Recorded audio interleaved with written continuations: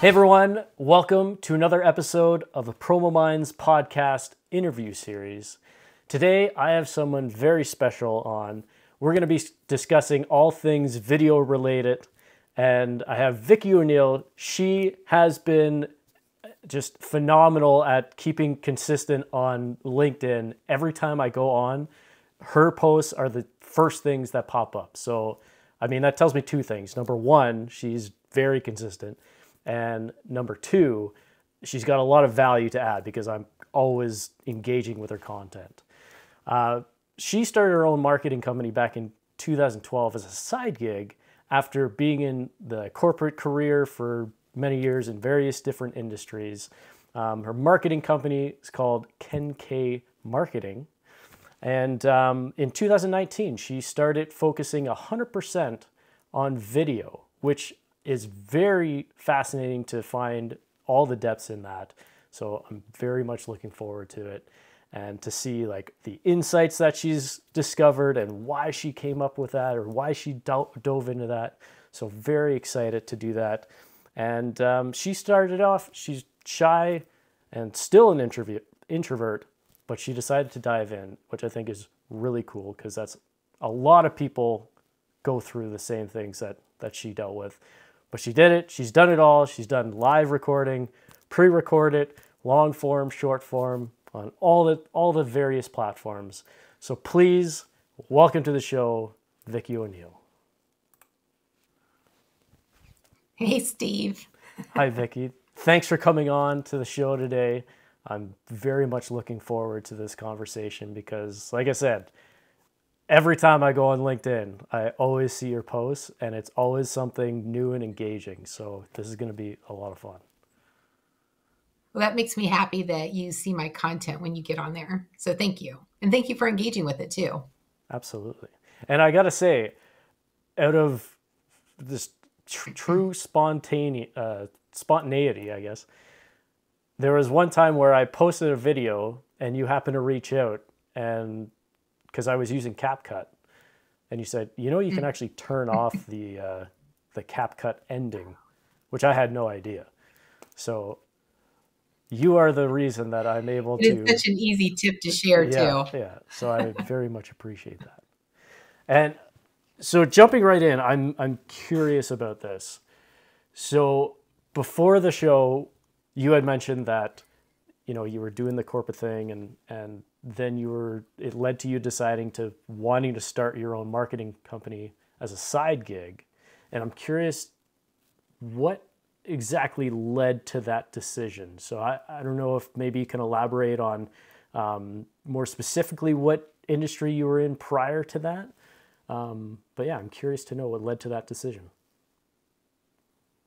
That's an interesting question um, so I worked in various industries. Um, I actually worked at the company that started the Yellow Pages back in the day. I didn't, I wasn't there when they first started, but you know, I worked at the company. Um, I've worked in automotive. I've worked in publishing. I've worked in um, manufacturing. Worked at a marketing agency. So I've worked in like different capacities um, in both marketing and sales. And what I realized through all the different experiences is that each time I got into a role, I loved it. You know, you get into a new role, you're like passionate about it, you love it, you're doing your thing. And then very quickly I'd realize, like, oh, let's do this. We can make this better. How about if we streamline this and make this better? Which you would think would be, you know, welcomed with open arms by your leadership team. And a lot of times it was not. So I quickly realized that it would be easier and better for me, at least long term, if I did my own thing.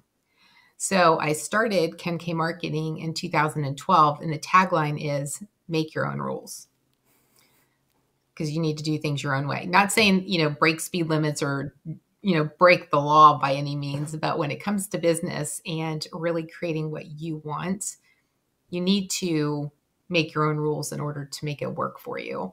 So I started it as a side gig because people would come to me back then just knowing that I was in marketing and say, Hey, do you know anybody who could create a logo? Do you know anybody who could create a website for me?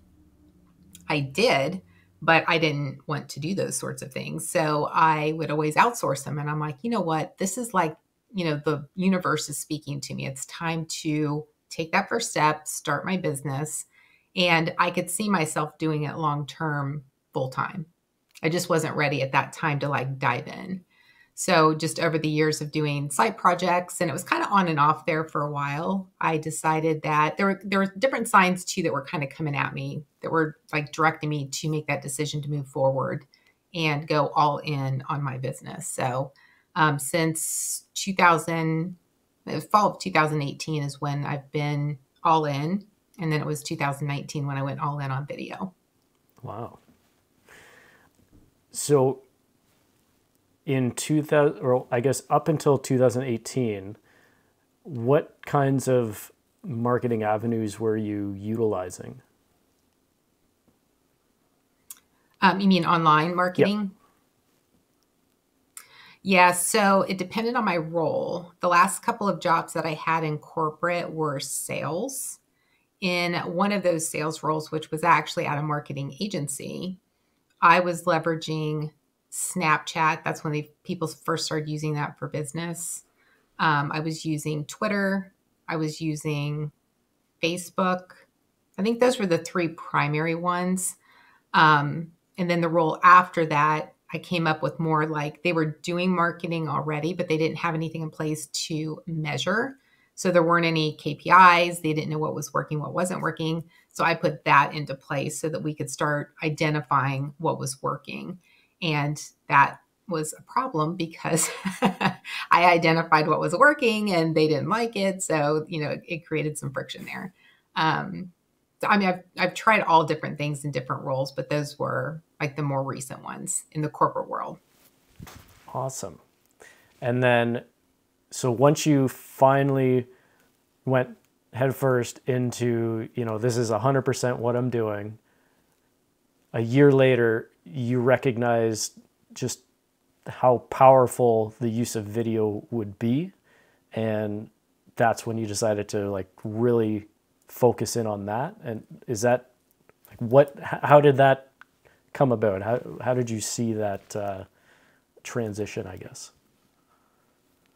Yeah, that's a great question. Um, initially, I saw an opportunity for because my background's marketing and sales, and I didn't see a lot of people. It was either you were marketing or you were sales. I didn't see anybody really focusing on both of them. So I thought that would be my opportunity to combine my skill sets and go into like mid-sized businesses and help them align those two teams because there's a lot of disconnect even today of marketing and sales teams. They just don't talk, you know, one's pointing the finger at the other. So I just saw, you know, an opportunity to do that. I learned over that year that mid-level or, or uh, high-level positions at those mid-sized companies did not want someone coming in there to tell them how to make things better. so I started thinking, like, how can I differentiate myself? Because the online marketing space is so saturated that I just didn't want to get in there and be another Me Too and like try and figure my way to stand out. So I kind of leaned into my history of being on camera and creating videos. And I created my first video on YouTube. It's unlisted right now, but I share it with people all the time. It's awful. it was back in 2011, um, I think was when I started the channel. And I posted my very first video. And to this day, it just makes me cringe because I was trying to make it perfect. I remember, I mean, right now I'm even feeling anxiety thinking back on it because it was just like, you know, trying to get the right lighting, trying to get the right space in the room so you had the right background, and trying to memorize my script. You didn't have, you know, teleprompters back then that you could use. Um, so it was a little bit different if you wanted to use that. Um, but I just remember being like, this isn't right. This isn't right. And I just hours upon hours to get this one video done. And I'm like, this is ridiculous. I'm like, I can't do this. So after one video, I was like, I'm not going to do this anymore. And it was almost a year later, I did my second video I don't remember doing that one, but um, if you look at my history, it was like another year before I did. so it was like I know that that whole like you know anxiety and perfectionism and trying to make it you know awesome was part of what I was experiencing and part of like what I wanted to you know have the output be. I wanted it to be really good, but I didn't want anybody to see that I was trying to make it really good. That's part of the problem when you try to hide what you're trying to do, then it actually comes out and is you know projected even more so um, and then just through conversations and with you know so many different capabilities with creating videos and all these different platforms and all the different types you know with short form and just the entertainment value that's in some of them there were just so many things i'm like you know what i need to focus on this thing and and lean into the struggles that i had the insecurities i had the perfectionism that i was trying to you know create in my you know quote unquote process and help others eliminate that or avoid it or get past it sooner if they're already in that space. And that's where I found that there was there were more people than I thought that were actually experiencing that same thing and that I could actually help them get over that. That's amazing. That's uh it's funny because listening to you share your answer on that, there's a lot of things that um, I guess resonated with me and kind of similar timeline too with 2018 to 2019 seeing that shift of you know how do you how do you bring together the sales and marketing aspect and mm-hmm. then including video uh, like i remember my boss at the time was against using video and uh, like I, I was in the swimming pool industry and we would get calls all the time from homeowners just basically wanting more um, more, more marketing material on seeing different options for liners in backyards, not just like here's a cutout mm-hmm. liner. How do I visualize this better? And then, so I started using uh, just video off the cell phone to create these, you know, 30 second videos or whatever to showcase some of the cool features in a in a liner pattern, but then also just mm-hmm. put some photos together because we didn't have any real videos and make a video of photos to display that. But I had the same kind of realizations yeah. that that you had, and um, you had mentioned towards the end of your answer there about seeing the opportunity with how universal the feeling of you know being shy in front of a camera or uh, not really mm-hmm. knowing, or I guess the perfectional perfectionism or whatever, right? Like wanting it mm-hmm. to be the best uh, thing and and kind of getting into analysis paralysis, so to speak, where you're trying to yes. make it so perfect that you don't put anything mm-hmm. out. Um, yeah, exactly. Now I know, and that's what I tell people today is to focus on progress instead of perfection. So perfection is actually the killer of progress. Mm-hmm. So I, I try and help present it that way to get them to think that, okay, that's completely logical. If you're focusing on perfection, the more you focus on it, you're wasting time and you're never going to get it anyway. I, I, personally don't believe that, you know, perfectionism even exists, like the perfect video. It doesn't exist maybe in the person's eyes who created it because that's what they thought they wanted or what they thought was perfect. But our versions and everybody's versions of perfect is different. So you can't ever achieve it because it doesn't exist. So don't spend time trying to get there. Just focus on getting it done and then learn from what you could have done better and then apply it to the next time and get better with the next one. That's so true. My girlfriend just shared something with me last night. I, I can't remember the exact quote or who actually said it, but um, she said, I guess paraphrase here about how the first video is not you're not gonna like it, right? Like it's it's gonna be bad. Assume it's gonna be bad. Right. But you can't get to the hundredth video without starting with one. And you know, once you get to exactly. 100 videos, you're going to be a lot better. So, uh, yes, I always tell people don't compare your chapter one to somebody else's chapter 20. That's a great way to look at it. and that's compare your chapter one to your pre chapter. compare yourself to yourself and just look at the progress that you're making individually. And that's going to give you more energy. It's going to make you more excited about the process and actually getting better. But I mean, you, I know I've experienced this. If I look at, there's people out there right now that if I go look at their videos, I'm just like, man, they've got great videos and they haven't been doing it as long as I have. Well, they're also not on five platforms. They're focused only on the one. And that actually helps create better content because you're focused on one platform. Yeah. So you have to kind of dig a little bit too, just to see what the reason is. Hey guys, if you're looking for a great book to read as it pertains to presentation skills, one book I would recommend is The Presentation Secrets of Steve Jobs by Carmine Gallo. This book has a lot of great tidbits for preparing for a speech or presentation, whether it's a webinar or in front of a live audience. It's really good and really useful. I I found it very handy when I was first getting started with my presentations, and I definitely recommend checking it out. That's The Presentation Secrets of Steve Jobs by Carmine Gallo. All right, let's get back to the show. Absolutely. So, one of the things that I've seen you talk about is um, going into more uh, tips and tricks, I guess, about like how to prepare for getting in front of the the camera if you're just new to it or or you're looking to get into that but you're still you know having that that um, shyness or the the fear of public speaking sort of thing come into play. Is there um, are there any tips that you could share with the audience about you know if, if you are looking at getting into this and you do feel that hesitation what are a few th- simple things that they could maybe do on their own to to um, move forward with that?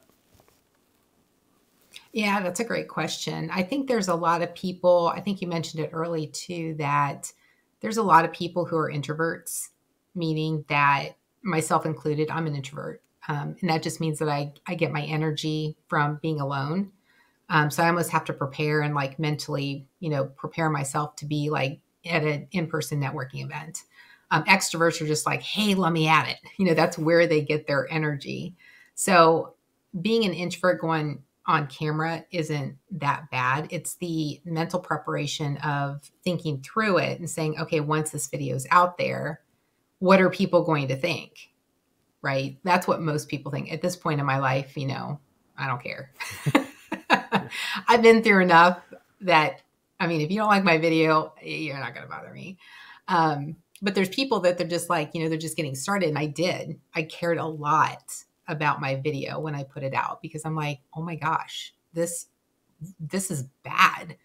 You know, and again, comparing myself to somebody else. So one of the things that I did is it really is a mindset shift, just like with a lot of things. If you're challenged with doing anything, if you're procrastinating, if you're almost like forcing yourself to get on camera, one thing is is like you have to focus on the reason why you're doing it. If you're doing it just to create videos for the heck of it, or somebody else is like, you have to create videos, it's probably going to be a little more challenging. No, probably a lot more challenging to actually create the video content. If, like me in your business and you, you know, you want to be visible, that's a way to connect with people, connect with more people at the same time. And the reason why you want to do that is, you know, if you're the face of your brand, more people are going to see you and they're going to get to know, like, and trust you faster. Even like, you know, watching a video than it would be to go into a room of, you know, a thousand people. And I try to have people imagine that if you wanted to expand your network or expand the number of people that you're touching to, let's just say a thousand, you walk into a room of a thousand people. In order for you to have a conversation with each person, I mean, I don't even know how much time that would take. But if you've got one video with that same message that you're putting out that a thousand people watch, now it makes more sense as to why I would want to create a video. So you almost have to get into that that mindset first and kind of like think through the reason why you're creating this video and it helps a little bit. Then the next thing is is that, you know, everybody has a phone. So, you know, pick up your phone and know that the first video you record you're you can throw it away. Just trash it, doesn't matter. Press record. It could be like, you know, my cat's over there sleeping right now. I could just pick up my phone and walk over and just like, you know, turn it on, walk over there, take a vi- video of her, turn it off. there's my video. No one knows, but I'm practicing pressing record. Then I'm going to build up from there. You trash it if you want to keep it because it's your cat, that's fine. um, but then you look at it and say, okay, what can I do next? And then you add voice to it. You start talking to it. You know, I'm, I'm sitting here and I'm walking over, you know, so you start building up and you add layers. Then you're like, okay, I'm going to put myself on camera. And then it's like, okay, that's where the anxiety starts. But you've taken all those other steps and you've already pressed record. So this is the next logical step in the process. So I always like to compare it to, um, like for me, you know, running or, you know, exercising. That's one of the things I love to do. And I know some people are challenged with that. You know, they just don't want to go work out. Well, if you've never worked out in your life before, but you want to lose 50 pounds, you're not going to like go out and buy all the clothes and the shoes and go to the gym and like work out for three hours and come back and expect to be like super fit right? It's a process. You may have to just put on your shoes that day and that's it. That's the step that you take because you hate working out that much. Then the next day, you might put on your shoes and just like leave them on all day. And that's like step number two. You're taking baby steps. And a lot of times that's what it is when something is that we really don't want to do it. We have to just look at the reason why we're doing it and then find those steps that we can take that build up to where we want to be. Yeah, it's interesting that you say that because um, that's one of the things that helped me with um, getting into like ultra running and that. And it's so true how it relates to all these different areas, like creating videos is just, um, I guess, having like a minimum target, even. Like if you, some days you might have that that energy to, you know, get in front of a camera and, and record like a two minute video, even if you do nothing with it, right? Mm-hmm. But then there's mm-hmm. other days yeah. that, you know, you're just, you're not feeling it and you don't, you would, you would rather jump off a bridge than, than record a video, right?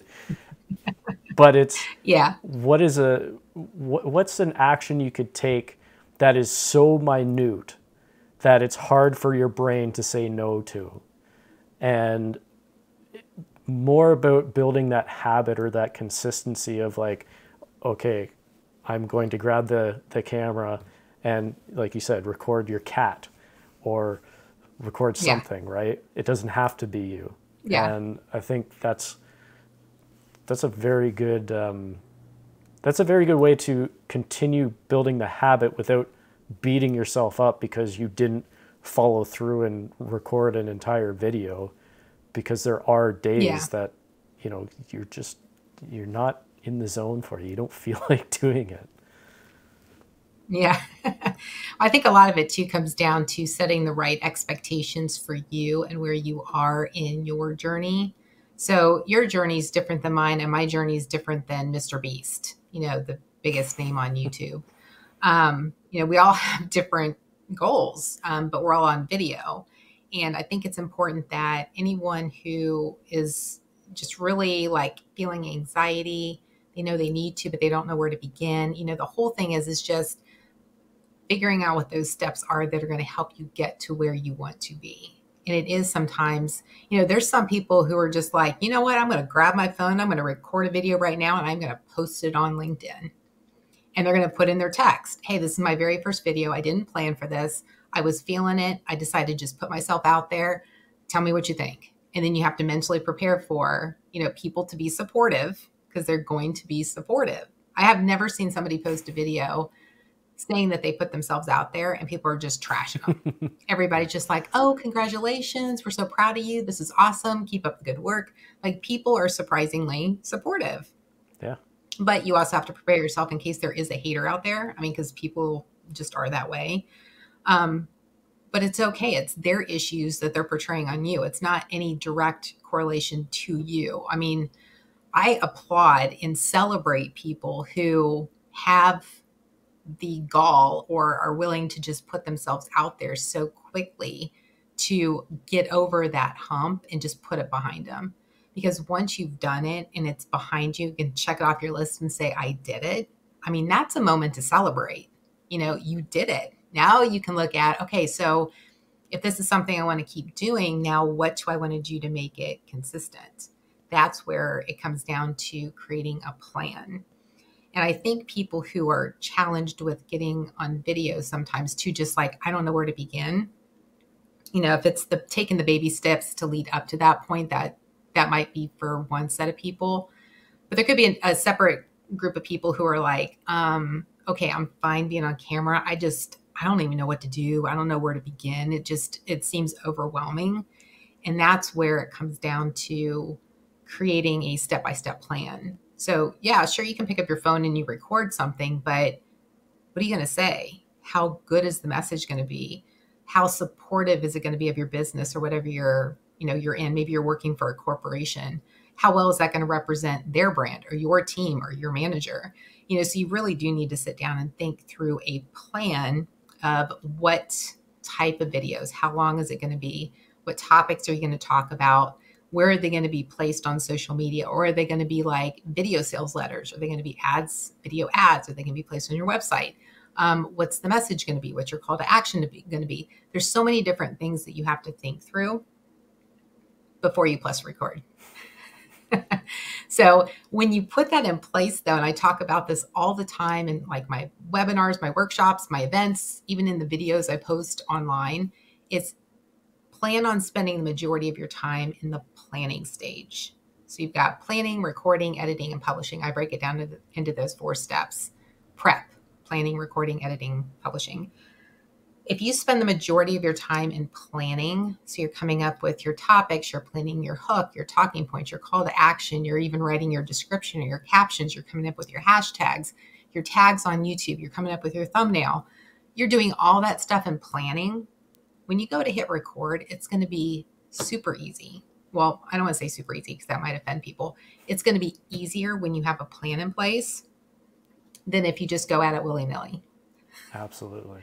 And then it makes the editing easier. It makes the publishing easier because everything's already done. So spend the majority of your time in the planning phase. That was a really long answer. I apologize. no, that was great. There's a lot of gold nuggets in there. And I believe you have a uh, like a template or something that um, speaks to that, don't you? Yeah, it's the uh, it's my um, video planning guide that is free that people can download. They can just go to my website, vickioneill.com, and then um, slash plan, and they can download it for free. And they'll have access to all that. I walk through actually step by step, focusing on the planning stage so they have everything that they need to get started. Amazing.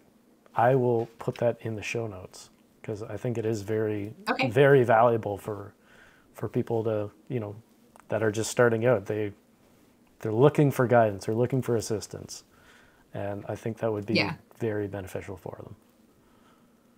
Okay, great. Thank you. Yeah. How's your video experience been? Like you started around the same time I did. Like where are you at now with your videos? Are you doing like the planning and you feel confident you're moving forward? So with my videos now, um, I have like a subject that I like to that mm-hmm. I want to speak on. And I'll do like mm-hmm. a little bit of thought process where, um, you know, just kind of make some points on some things that I want to touch on. But then mm-hmm. I set up my, my gear and I go into it. And like I, I have those topics top of mind because I've spent some time writing them down.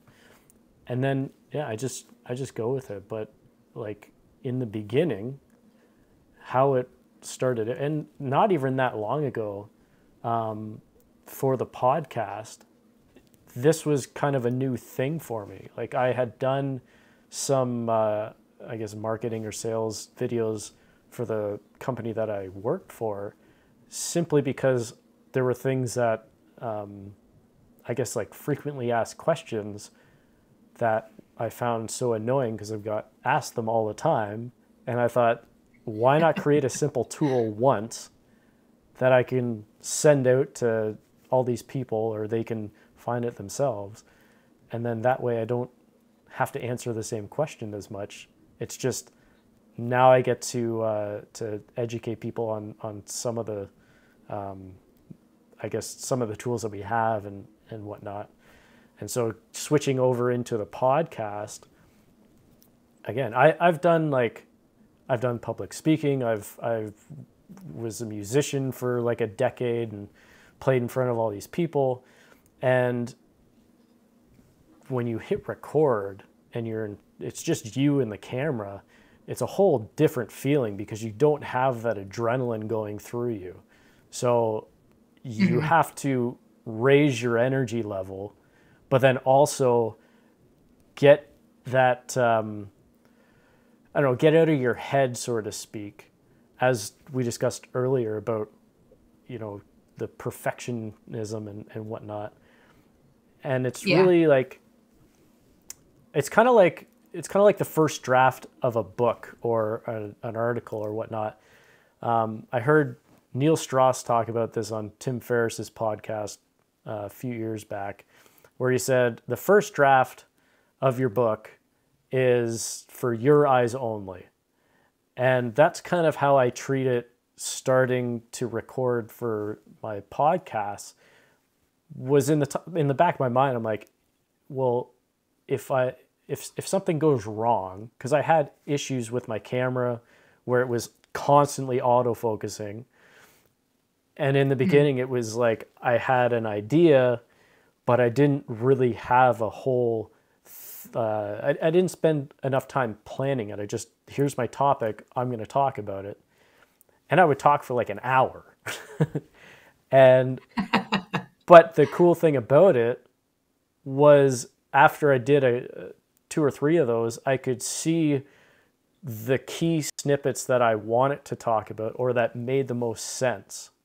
And so when I went back and re recorded it with better equipment, then I was able to take it from being an hour long to like 15 or 20 minutes.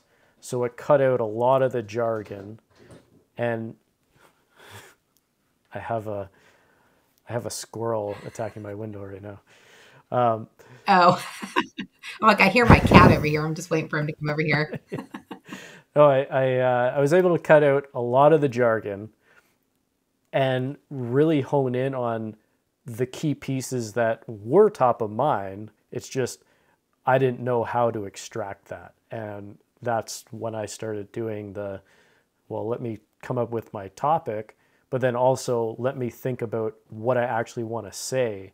And then it's not like having to write out a whole script, it's just here are some key points that I really wanted to talk about within this. And then I, I, I feel I have enough confidence in sculpting it all together. It's just a matter of knowing the points you want to talk about. Yeah, that's good. It sounds like you've got a really good process in place too, and you've built up to that point based on experience. So you did one thing and you're like, okay, now I can take it to the next level. And you kind of did that same thing that most of us take is, you know, the steps that continue to help us improve and move past that. Yeah. And it's really about like like we said earlier, just starting.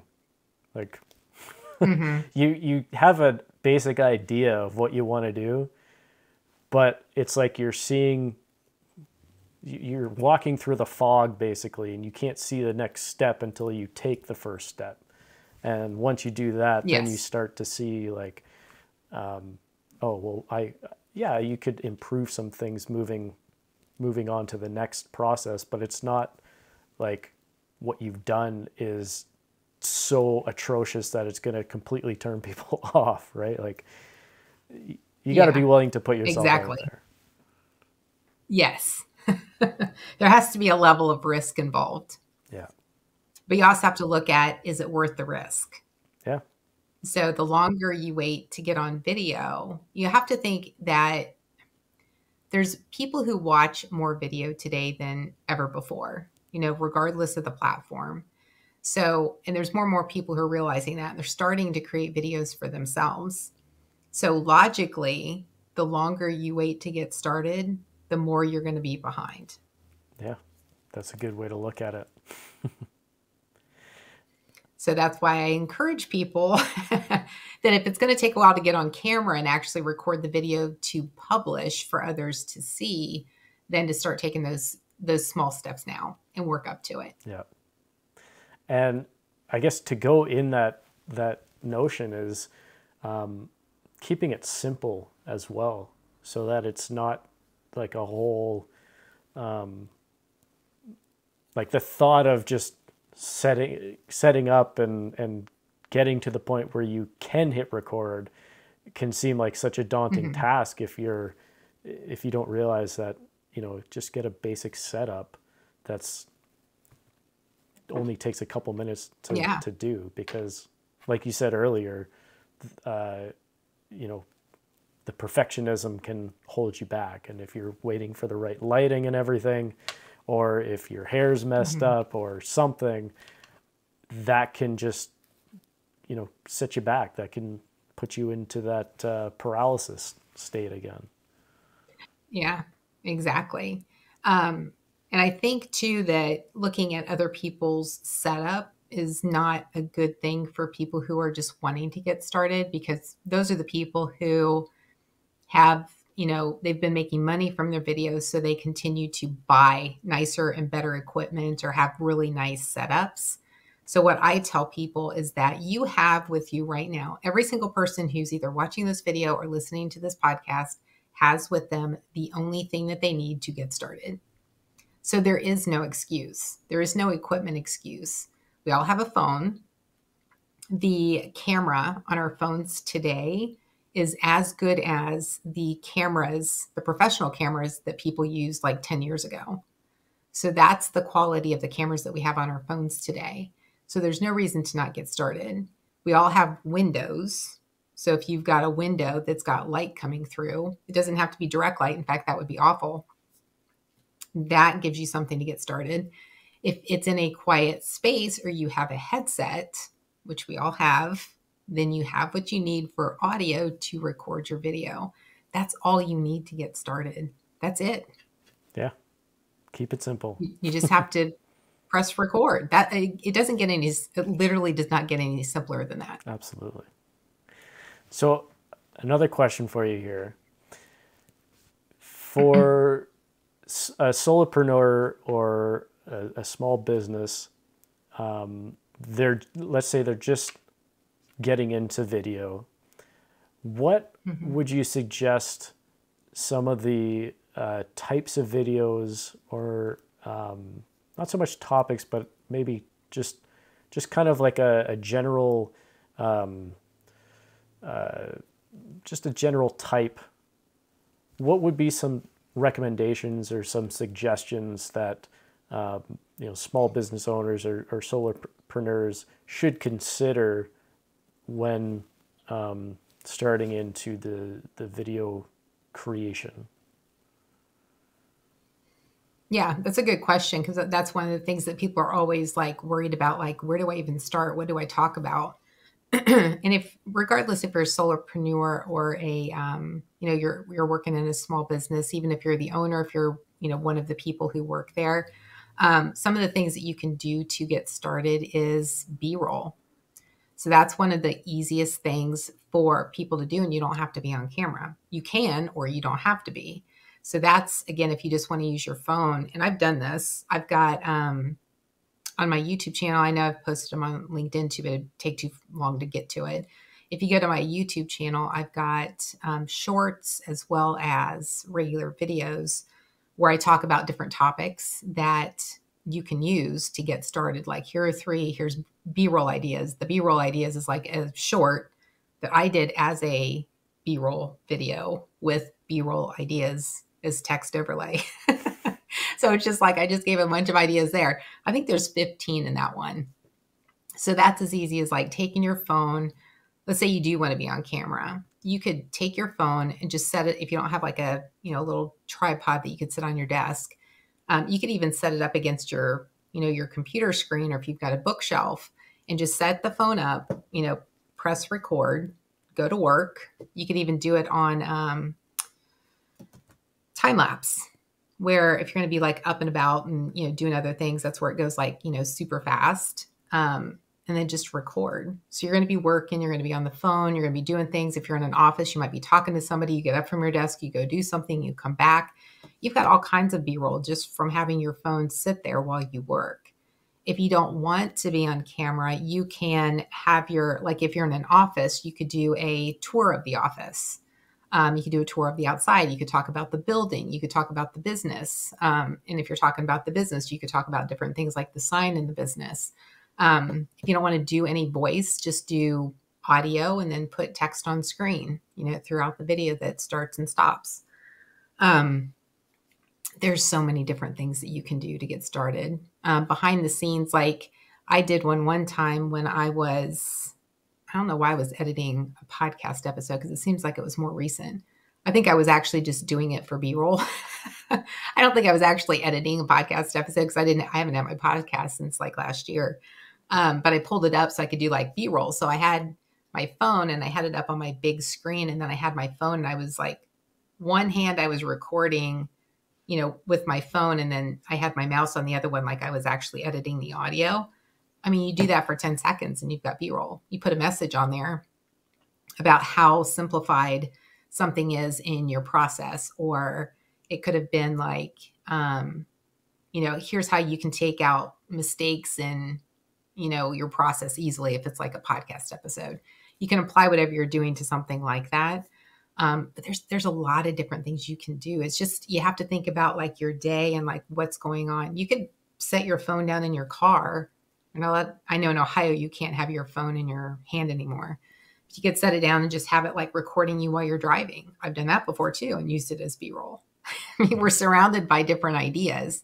We just have to sit and kind of think through like where can I capture something that I can use to get started. Absolutely. That's a, that's a great suggestion too, because uh, I guess the majority of people that I talk to with um, my own business is just more contractors, and I find a lot of them they they're really good at what they do, but they do not want to get in front of a camera or they just don't fully understand the technology. So, um, you know, coming up with other ideas in order to uh, take advantage of video, but then also do it in a way that's comfortable for um, for the contractor as well. So that's a those are some great ideas. When you say a contractor, what's an example of a contractor that you work with? Um, well, for instance, one of them builds high end uh, cottages, um, more like with ICF and that. Um, another one's a plumber, and um, I even have uh, a buddy who's uh, doing cleaning services, but he's like contracted for um, like construction cleanings.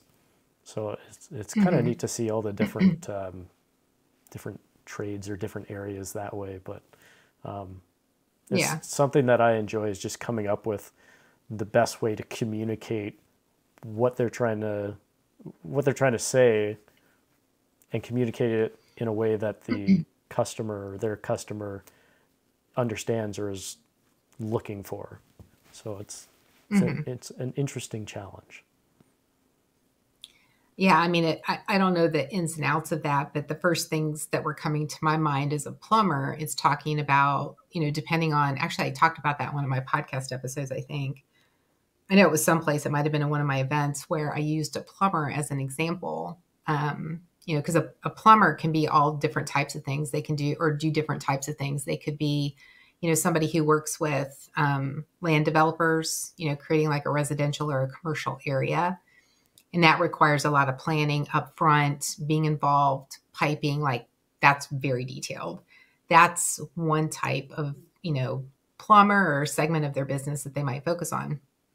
Then you've got like your, you know, plumber where you need somebody to come in and, you know, maybe repipe the house or they need to take care of the pipes under the kitchen sink because it's, you know, it's not working anymore. And then you've got the 24 7 or 24 hour emergency service type services or plumbers. So under, you know, better understanding like what services they actually provide and then tapping into if it's a you know traditional plumber where you know i'm having an issue in my kitchen and i need a plumber to come out and take a look at it it's not an emergency because the pipe didn't burst but i need them to come out and take a look at it you know at some point soon um, you know, there's messaging and tips and things that that plumber can do or say and create videos on on um, one, and I bring this up because I did not know. In uh, my house I lived in a, a few years ago, um, I don't know if I'm going to show my blondness or if I'm going to show like my stupidity, but I'm going to go for it anyway. Um, I use a French coffee press. So it's like there's always coffee grounds in it. So I have to clean it out every day. I was putting the coffee grounds in the garbage disposal side and thinking that turning on the garbage disposal, you know, was going to actually flush it through and I didn't have to worry about it. Well, apparently that clogs your pipes, like whatever that goes through. And I ended up having to get a plumber, like right before I sold my house. You know, I had an inspection go through and there was something wrong with the pipe. So I had somebody come out. And, and I remember him coming up and being like, Do you drink a lot of coffee? I'm like, I drink it in the morning like most people. Why? And he's just like, Do you put your coffee grounds down the garbage disposal? I'm like, Yeah, why? And he's just like, That's the problem. You can't do that. I'm like, What? I've been doing that the entire time I've lived here. and he's like, You can't do that. I'm like, All right. So, um, you know, stuff like that. The plumber can do tips and even like kind of not without revealing people's names. I mean, I wouldn't care, but they don't have to reveal people's names, but talk about tips of things that you can do to maintain the healthiness of your the plumbing in your house. You know, so you don't want to put coffee grounds down it. You know, you don't want to put, um, I forget there's something else. Oh, like the tops of strawberries, you know, the green parts that you cut off, you know, those aren't supposed to go through there there's things that they could do to create videos like that and they could either be on camera or off camera but there's like unlimited number of topics that they could talk about. That's a plumber. I mm-hmm. you know i mean that's just from my own experiences. I'm sure there's all kinds of topics and tips that they could actually create videos on. There's content there. They just have to think about it. Oh absolutely. There's i i would say that the one of the biggest or i guess the, the most common things that um, I typically go to is just like the explainer video for um, mm-hmm. like if you were to hire someone for a specific job, whether it's mm-hmm. building a new addition or like you said with the plumber, like there's there's various different things that you could do. But if you specify, if you niche down on a couple things, and it's like, okay, so if if someone were to was looking for this, what sort of thing is going through their mind, or what kind of experiences are they having that is leading them to find this service, and then to yes really um, talk about those things. Much like you said about the coffee grinds, like that I would have never thought of. What what my mind goes to is like the um, uh, some of the uh, like the Tide Pods or whatever, like um, some of those mm-hmm. can mm-hmm. get clogged up in the drains and um, grease. You mm. don't want to dump grease down the the drain. um, mm-hmm. Yeah. But yeah, so there's various things that you shouldn't be doing, right? And then that's just one of those things yeah. that you could speak on, like, oh, did you do this? Well, this is what you need to do. And uh, yeah. yeah, so that yeah, the the possibilities. I know that there's going to be there's I know that there's and I don't know the name of the channel because it's been a while, but um, when I was doing that podcast episode or video, whatever it was I was doing, I was looking up different examples that I could talk to. Um, there is a very popular, we're talking like hundreds of thousands of subscribers on, I think it was YouTube. And it's, I mean, like if you talk to plumbers, they could probably tell you who this person is. But he's got a massive following and he does residential plumbing. But it's because he's doing it. I think he actually adds like some humor into it. He's got like all different types. Like if you look at his channel, it's not like every video looks the same. Mm-hmm. Not that that's a problem because um, you do what works best for you. But um, he was probably just being real and authentic and providing value. And people are just like, hey, this is kind of unusual. Because I mean, most people don't think of, hey, I'm going to go look up plumbing videos unless you're somebody who likes to do it yourself. And then, of course, you're going to look those up on YouTube. Um, and he might have been like the first result. And then it just kind of, you know, spread like fi- wildfire, wildfire from there. Yeah. That's, um, it, it, well, it reminds me of another channel um, more in the swimming pool industry for uh, it's called Swim University, but it's they started out there was nothing special about them. It was just they were recording themselves with with like a cell phone in a backyard and just putting it together of this is what you do for certain things and so I'd imagine it, would be the mm-hmm. same sort of thing and it's they have you know millions of views and hundreds of thousands of subscribers and it's literally just talking mm-hmm. about common um, occurrences that every swimming pool owner would uh, uh, a question that they would always have so mm-hmm. yeah there's there's various different things yeah and they could even like tap into um, i know mr beast has done videos before that have something to do with a swimming pool. I think at one point they did like a bunch of um like a bunch of those balls, like you go into a ball pit. I think they filled like an entire pool with like the balls. Yeah. And just kind of like, you know, you were diving in and stuff. Um, but if you use Mr. Beast's name in a YouTube video and even on the title and you have it on your thumbnail, I mean, you're going to get all kinds of views. Yeah. So you got to know what to tap into especially on YouTube. I mean, on all the channels, but YouTube's a little bit more um, about thumbnail, you know, and, and title driven, um, and just knowing like you know what to do with those and the design and stuff like that. But um, just knowing that kind of stuff, you know, you can get good traction when you plan ahead. It's amazing how it always comes back to planning. I know. when you fail to plan, you plan to fail, right? Absolutely. Benjamin Franklin. Absolutely. Hey guys, if you're into hiking at all, I highly recommend subscribing to my YouTube page, Steve Leslie Hikes. That's Steve Leslie Hikes on YouTube. I have a lot of content on there from some of the crazy hikes that I've been on, including Angel's Landing in Zion National Park. And it'd be really cool to connect on there. So please check me out. Thanks. so, Vicki, I have a couple uh, couple more questions for you, and okay. these ones are going to be a little more uh, uh, specific to you. And okay. so, first off, as it relates to you know starting your your marketing uh, business, and you know you've had it for over a decade now, right? Um, mm-hmm. What have been some of the challenges that you faced launching your company and and um, getting to where you are now? What are some of the challenges with your business that you face that you've had to overcome, and and maybe you can speak a little bit on on that.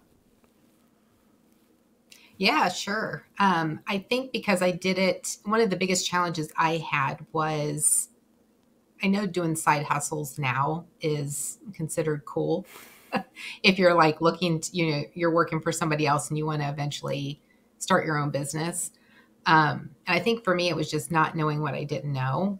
And when I decided to go 100% in my business, I really wasn't 100% because I came from a corporate environment. And when you go from corporate to your own business, it's like a completely different you know mindset apart from the fact that you're not getting a regular paycheck you know you don't have the benefits.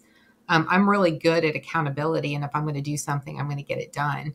But you don't have the same resources. There, there's a lot of things that you have to think through that you're not going to have when you go in and you need to put yourself in the mindset of going all in.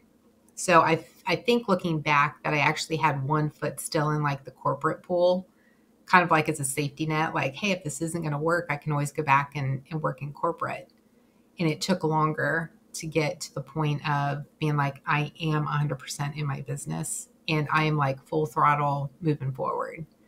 Um, so I would say that if you're going to start your own business, just make sure that you're in the right mindset to say everything else that you've done before business wise needs to be behind you. Don't think about it. Just focus on your business and move forward. Well, that's really cool. And yeah, definitely, um, definitely can relate to uh, to some of that. So thank you for sharing. Yeah. I would say another thing too. I don't want to leave you with just one because you're like, ah, give me some more.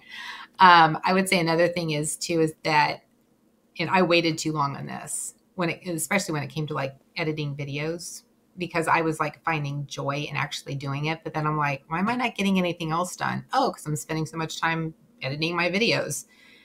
It know when it's time to outsource. It doesn't necessarily have to be videos. You know, it could be, you know, if you're doing your own books, you know, when to hire an accountant. If you're doing all of your own admin stuff and you hate it, it's taking all of your time know when to hire a VA. You know, just know what's going on in your business so that you can see what's bringing you joy and what's zapping your energy. So that when you're at the point that you can outsource or hire someone to do those things that are zapping your energy, you can stay focused on your business with the positive energy, which is going to help propel you forward. Yeah, so true.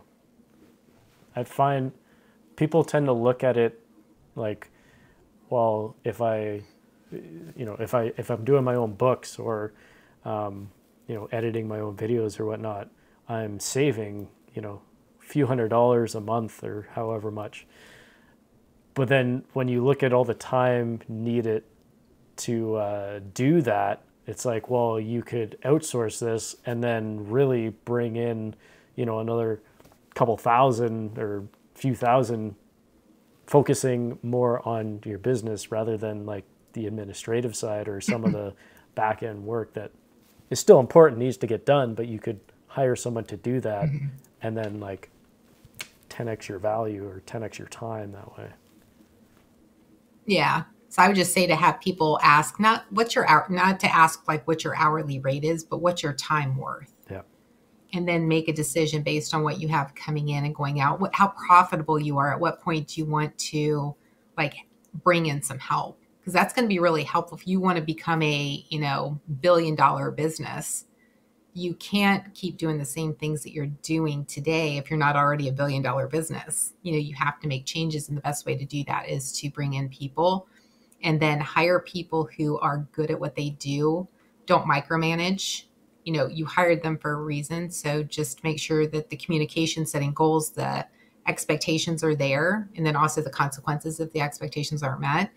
Follow through with it and just make sure that you have a really solid team that you can rely on so you can focus on your business.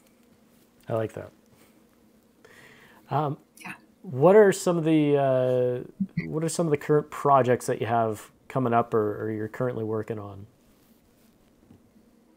so, my biggest project that I have going on right now, and I'm actually launching it on November 15th, so a little over a week, is I am launching a, um, it's a do it yourself, like full, like all 360 view of doing videos yourself.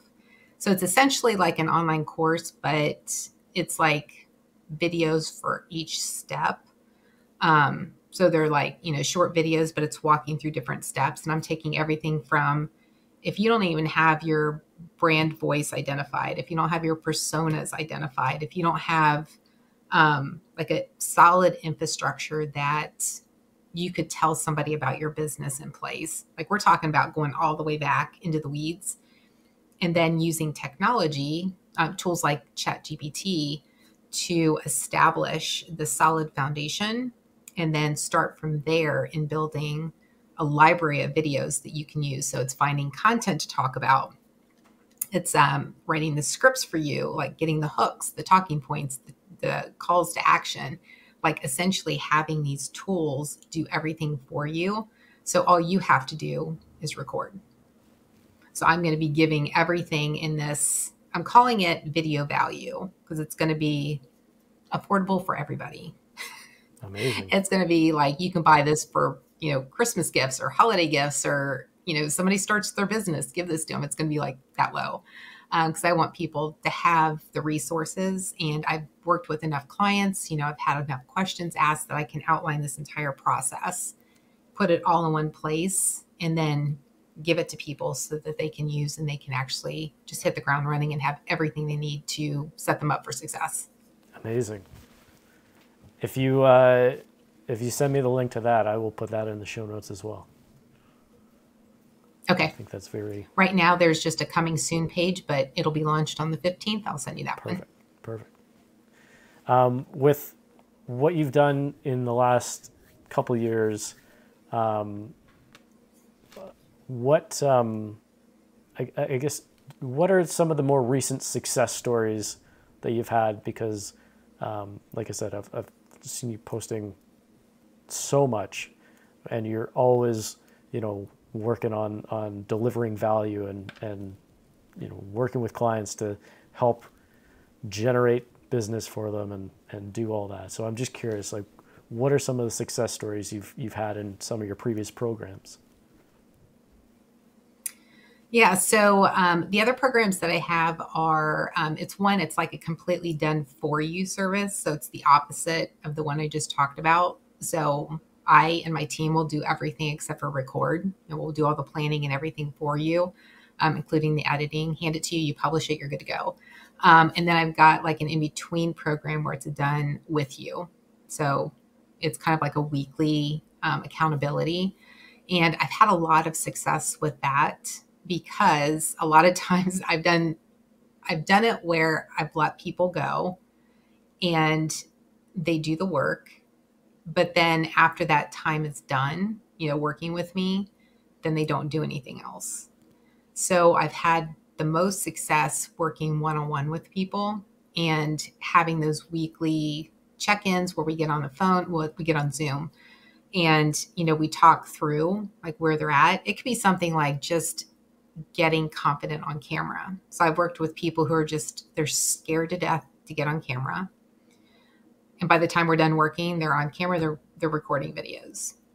And then I've worked with people who are just like, ah, I'm creating videos, but like it's not consistent because they just, it's overwhelming to think. If you start thinking about all the different parts, it very quickly can become overwhelming. So some people I've worked with, it's getting on the on the phone or on Zoom every week and just being like, okay, you know, here's what you need to do this coming week. Here are the different action items. Are you okay with that? Just making sure that there's agreement. Can you get these done? Is it realistic with the amount of time? Yes, it is. And then the next week we get on the call and make sure that those things were done. Um, so that actually has worked really well. Um, I know it's not a scalable model for my business, but it's something that I enjoy right now. And it's giving people the confidence they need to get on camera. They're creating videos with consistency. Those are the things that bring me a lot of joy. I love to help people. Um, so right now, that's that's where I've been having the most success with people seeing success.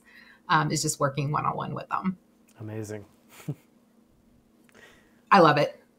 Well, it sounds like you've got quite an awesome setup for various different uh, um, what's the word I'm looking for degrees of where people are at.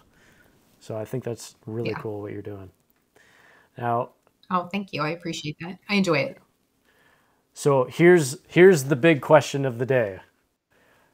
Do you Okay. have Bring it do on. you have uh, one to three books that you could recommend the audience check out? and it doesn't have to be genre specific.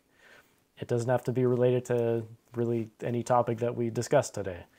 But if you could provide Okay. just a few few book recommendations, that would be amazing. Yes, I've got I've got a few. My first book recommendation is actually the first thing that came to mind, and it's called The Art of Possibilities. Um, it's a book by Benjamin Zander and his wife, Rosamund Zander. Um, he was actually, I think he's still around. I actually saw him in person. Um, he came and, and he's like a public speaker too, but he was the conductor of the Boston Philharmonic Orchestra. Okay. Phenomenal human being. Um, and then his wife is a, um, she's a psycho, not a psychologist. Um, she's something with the mind. I can't remember what it is. Psychotherapy. She's a psychotherapist. That's what it is. I find joy in like the psychology and the marketing side of things. So this was like a really, really powerful book. Um, and when you see him in person, when you read the book, it just like kind of comes through because he's like very energetic, he's very animated, and he's very engaging. Um, but the book is all about creativity and how you can incorporate that into just being a human, like in the day to day things that you do. Um, and I talk about how I'm not creative when it comes to like drawing or, you know, art or anything like that, but I'm, I'm very creative when it comes to thinking and like problem solving. And I think that's why that book resonated with me and why I think it's it should be a must read for everybody. Cool. I'm definitely going to check that one out. it's a quick read too. It's not too bad. Um, the second book that I have um, that I would recommend is called The Traveler's Gift, and that's by Andy Andrews. Um, this is a book about um, an individual who's down on his luck. He's experiencing a lot of failures, and he's got the "What's next? Woe is me." The life is out to, or you know, the world is out to get me mentality and he needs to be flipped. He needs his mind flipped. So he gets into a car accident and he then goes into this, I don't know, coma, trance, I don't know what it was. But he travels back in time and meets some of the world's leaders and heroes of our time, people like Abraham Lincoln or Anne Frank, um, and has conversations with them at their most pivotal moments in their lives to get like their insights as to what they were going through and just applying it to his his life. It actually gives me shivers to think about it. I love that book. Um, so that would be another book I would recommend just because I think a lot of I mean, I've gotten into the into this headspace before too, and I'm sure many other people have too. Is that you just get into this mindset of like, what the hell else is going to? Oops, sorry, I don't know if we can cuss on this yeah, or not, fine. but what else is going to happen in this? You know, you said no. Can you believe that out? no, I said I said that's fine. That's that's totally fine. Oh, okay. People said a lot worse. So like, what else is going to happen? Yeah, what else is going to happen? You know, you just have like a bad day. Um, so it's just that kind of thing. So I think that would be applicable to anybody because it kind of shows you how you can kind of change your your thoughts based on what you focus on. Absolutely. And then the third book I have is Everything is Figure Outable, which is a Marie Forleo book. Are you familiar with Marie Forleo? Yep. Yep. I first heard her. Yeah. So I love with her. Uh, Darren Hardy, I think. Yes. Yeah, she is just an amazing human. I've loved her ever since I found her. I think she was doing YouTube or something at one point. She's got that edutainment um, factor, mm-hmm. you know, in her videos, or she used to. Um, and you know, this is just about anything except for like death. You know, things that are like guaranteed in this world. You know, things that we can't control. um, everything is figure outable. And when you read the book and you hear her talk about it and you start thinking about it and you're like, yeah, she's right. Everything is figure outable. Just when you think that you're just like, well, what if, well, and it's like, no, she's right. Everything is figure outable. So it's just a great book for any situation if you think you're constantly getting stuck or just to kind of help you get out of your own way um, and she's also very much into how the brain works and psychology and how that works in business. And um, it's just a it's a very interesting book. So it would be one that I would recommend as well. Cool. I will have to check that out as well. In terms of uh, the second book, there, the Andy Andrews book, Andy Andrews, mm-hmm. I saw at a conference back in like 2015 or something, and oh really? I, yeah, he was by far the best speaker that I've ever seen. I've seen like John Maxwell and um, like Jesse mm. Itzler and stuff like that, but his uh, not not I guess it wasn't that he was the best well spoken or however you want to word that. It was the value that was delivered in it had the most uh, I guess, profound impact on my thinking. So the fact that you were talking about his book and how it impacts your thinking and, and your, you have control over your thoughts. I mm-hmm. totally can see how that applies because some of the things he said were like just hit you in the face and it was insane. Yeah. so I have not read that book. I like those. Yeah. You did read I, that book? I haven't, but I remember him talking about that book, and it's I don't know why I haven't read it. I would recommend reading it. If you liked him as a speaker, then you'll like this book. Yeah, I would love to see him speak. Yeah, he's like he's very ADHD or, or kind of squirrely brain, and he'll say that. Oh, okay, And- yeah. So he'll be talking about one thing, and then he'll like kind of go off on another tangent and come back to it, which is kind of funny. But he's like high energy, and just the what he has to say and and how he makes you think about things, and just his concepts on on stuff is just phenomenal. Oh, that's awesome. Yeah. I love to hear that.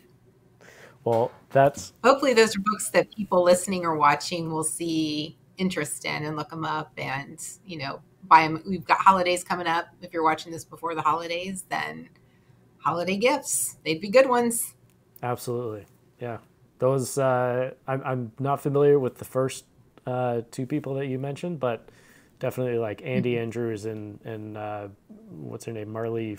Uh, how do you pronounce? Marie Forleo. That's it. hmm Yeah. Um, the value that they bring and all the things that I've seen them in is just phenomenal. So I could only imagine their books are jam packed with with loads of gold nuggets as well.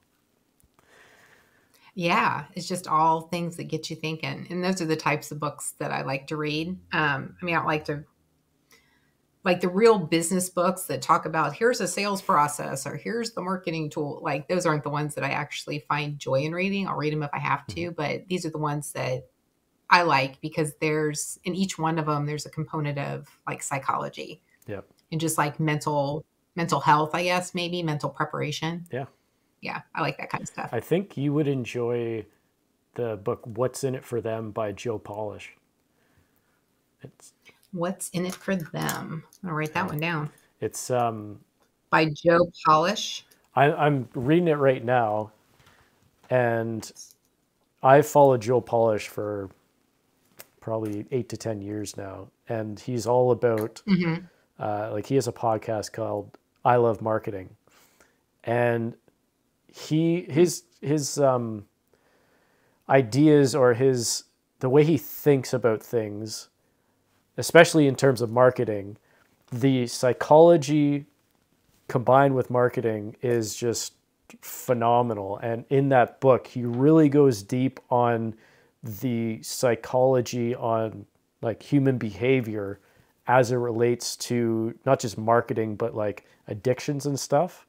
And he does it in a very um, empath- empathetic way. So it's not like here's how you take advantage of people. It's completely the opposite. It's this is what people are dealing with, hmm.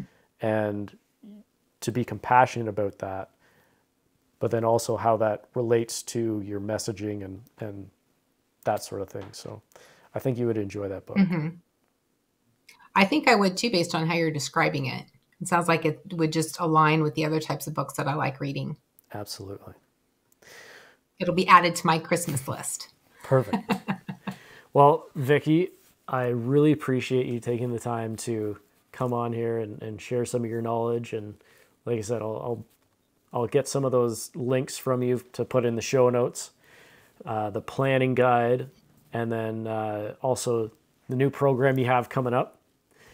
And um, I guess lastly, how can how can people connect with you? How how would you like them to reach out? Um, the best way is if it's social media, I would just say on LinkedIn, um, just to look me up there, Vicki O'Neill. Um, if they want to reach out to me, you know, direct, then go to my website and all my contact information's on there, or all my social handles too. They can do it there too. Cool. All right. Well, once again, thank you for coming on, and uh, yeah, we will We'll definitely be talking some more, and I'll, I will be following your content from here on out because it's literally the first thing that pops up on my LinkedIn. I'll have to keep that up so you keep seeing it first Yeah. thing whenever you get in there. Yeah, exactly. All right. Well, Well, thank you so much for having me on your podcast, Steve. I really appreciate it. It's been great. I've enjoyed our conversation. yeah, it's been a lot of fun. I really appreciate it. Well, that was an awesome interview. I had so much fun with with Vicki O'Neill. And like I said, I'll be putting some of her stuff up in the show notes, and it'll include how you can connect with her. Uh, she's very active on LinkedIn, and like I said, she always pops up as soon as I get on there, and you won't regret connecting with her on there because of all the value that she offers. Also, with her free planning guide, and then the upcoming program that she's got going on, I think that's going to be amazing. And so, once again, really want to thank you for for coming on the show. I'll also be sharing the book recommendations that she had, and um, yeah, I think there is a lot of value in today's interview as it relates to video and just you know getting getting in front of the camera, putting yourself out there, and you know you got to start somewhere. Just do it, and you know follow her for some great advice, and I'll definitely be checking her her YouTube page as well. Um, but yeah, I want to thank you guys for tuning in to another episode of the PromoMinds podcast interview series. And until next time, take care.